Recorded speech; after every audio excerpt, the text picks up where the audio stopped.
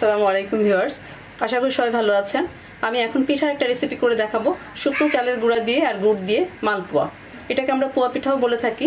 যদি রেসিপিটি ভালো লাগে, তাহলে অবশ্যই লাইক কমেন্ট শেয়ার সহ আমার চ্যানেলটি সাবস্ক্রাইব করে রাখবেন। তো চলুন দেখি এটা করতে আমাদের কি কি উপকরণ লাগবে। আমি প্রথমে নিয়ে নিচ্ছি এক কাপ চালের আটা বা চালের গুঁড়া, যেটা বলি আমরা। শুকনো, পুরোপুরি ড্রাই এটা আমি পিঠাটা নরম থাকার জন্য গুড়টা নিয়েছি আমি গরম করে হাফ কাপ হবে। বেশ গরম। দিয়ে দিচ্ছি এটা।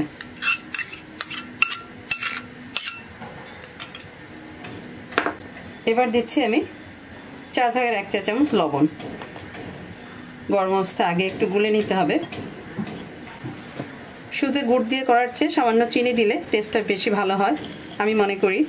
তারপর শুধু গুড় দিয়েও করা যাবে। এবার আমি সামান্য পানি দিচ্ছি, তাও হালকা গরম।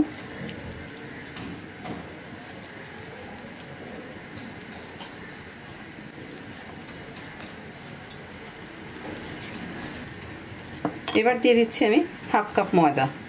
এতে পিঠাটা নরম হবে।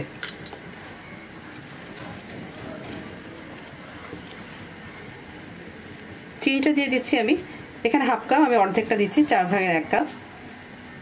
দেখে নেব একটু চিনিটা কম না বেশি হলে পরিমাণে আর একটু বাড়াবো। পানি লাগবে আরও খুব বেশি পাতলা করা যাবে না, খুব ঘন হবে না। আমি আগে ভালো করে গুলে নিচ্ছি। ভালো করে ভেসে গেছে। এবার আমি দশ মিনিট রেখে দেবো। তারপরে পিঠাগুলো ভেজে তুলব। চিনির পরিমাণটা একটু দেখে নিচ্ছি। মিষ্টিটা ঠিক আছে, আর লাগবে না। তারপরে যদি কেউ বেশি খেতে চান, চিনি বা গুড়ের পরিমাণটা একটু বাড়িয়ে নেবেন।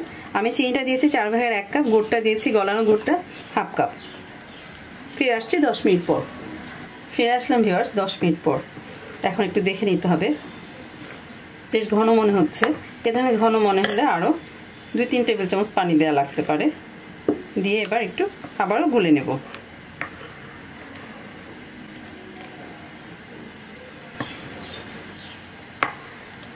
এই ধরনের পাতলা হবে। হয়ে গেছে, আমি চামচ দিয়ে ভাজবো, এক চামচ করে দেব। তো চলুন, আমি তেলটা গরম দিয়ে রেখেছি ভিওয়ার্স আমরা পিঠাগুলো ভেজে তুলি। তেলটা গরম হয়ে গেছে। আমি এক চামচ দিয়ে দিচ্ছি প্রথমে।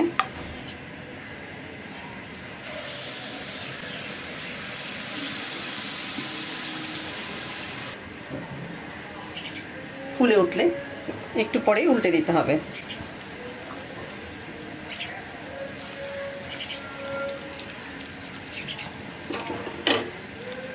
আমি পাশে আরও একটা দিয়ে দিচ্ছি।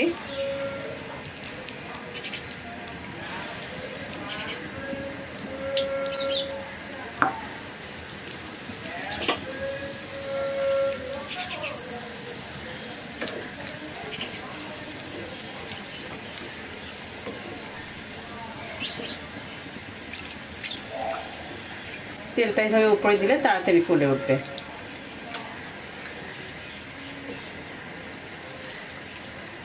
এটা হয়ে গেছে, আমি তুলে নিচ্ছি এটা।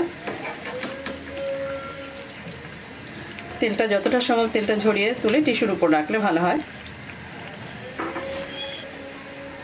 এভাবে আমি বাকি পিঠাগুলো ভেজে নিচ্ছি। ভাজার পর কিছুটা ঠান্ডা হয়ে গেছে, আমি এখন একটা পিঠা দেখাচ্ছি। উপরটা ক্রিস্পি হালকা, ভেতরটা খুবই সফট